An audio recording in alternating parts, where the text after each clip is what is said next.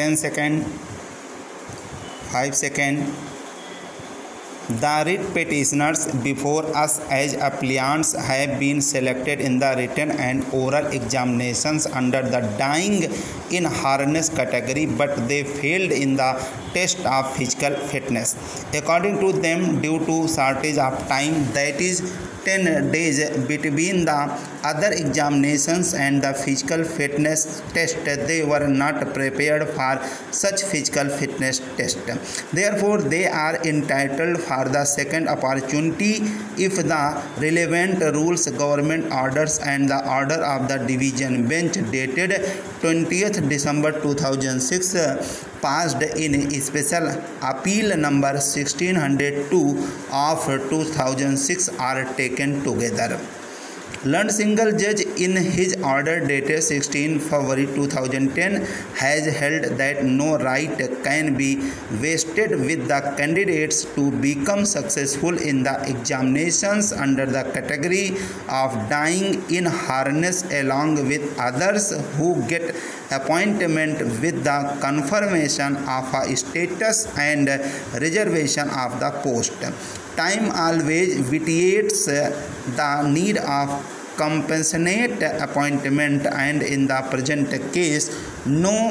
financial hardship is supposed to be faced by the family and at least the same can be reflected when they are also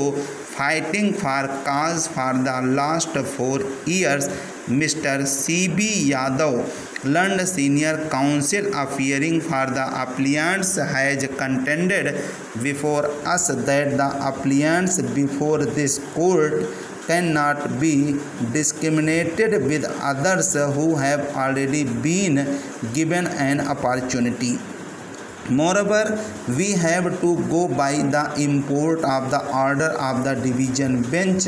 in Pankaj Kumar Bishnoi with reference to the rule, if any, when the region has been shown therein with regard to the dependent of the deceased employee that after a period of four years whether he became unfit or more fit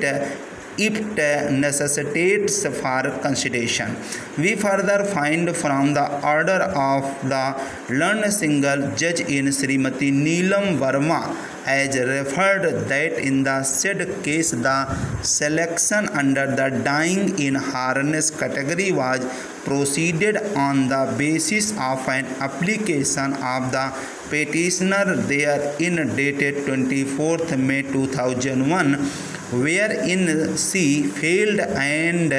thereafter on the basis of her letter dated 3rd July 2009 she sought another opportunity which was declined by the authority concerned. In this background the order was passed therein. Therefore, the cause was considered by the self same learned single judge after a period of eight years from the